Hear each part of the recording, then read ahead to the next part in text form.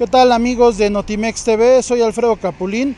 Nos encontramos en la colonia Reforma Estlacigual, donde pues estamos haciendo un recorrido en diferentes instituciones bancarias, dado que las autoridades han estado reportando que en estas mismas instituciones pues no se ha estado respetando eh, el distanciamiento social y el uso de cubrebocas.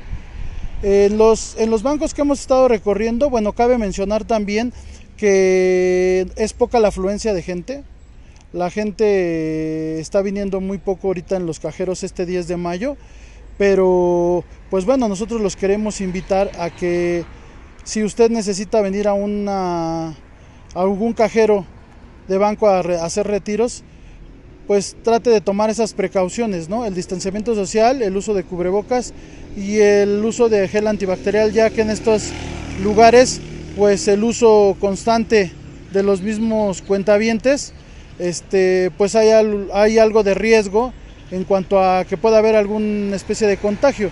Yo los voy a seguir informando, soy Alfredo Capulín y los invito a que sigan informados a través de Notimex TV.